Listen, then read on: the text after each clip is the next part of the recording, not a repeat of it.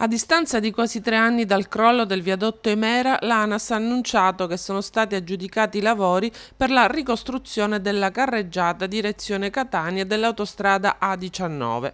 Un'opera che, sempre secondo l'ANAS, doveva essere completata entro il 2018.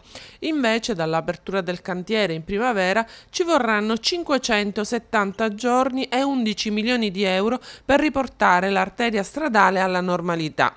Senza ritardi, il nuovo viadotto verrà riaperto per l'inizio del 2020.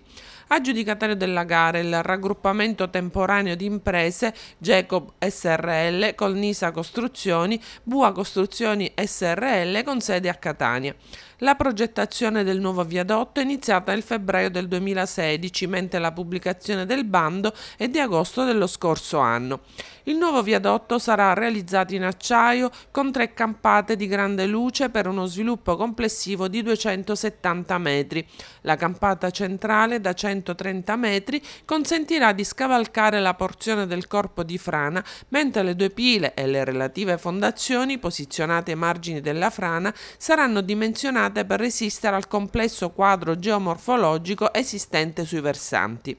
L'appalto è stato aggiudicato mediante il criterio dell'offerta economicamente più vantaggiosa, assegnando un massimo di 30 punti al prezzo e un massimo di 70 punti alla componente qualitativa, con la finalità di valorizzare pienamente la qualità delle offerte.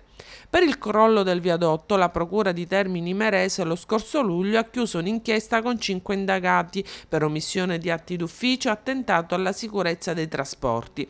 Secondo l'ipotesi accusatoria, gli indagati non hanno adottato i provvedimenti dovuti, ognuno in relazione alle specifiche competenze, pur essendo a conoscenza dell'evoluzione del corpo di frana che si era manifestata nel periodo tra marzo ed aprile del 2015 sul versante prospicente l'autostrada a 19 Palermo-Catania, ricadente nel territorio del comune di Caltavuturo.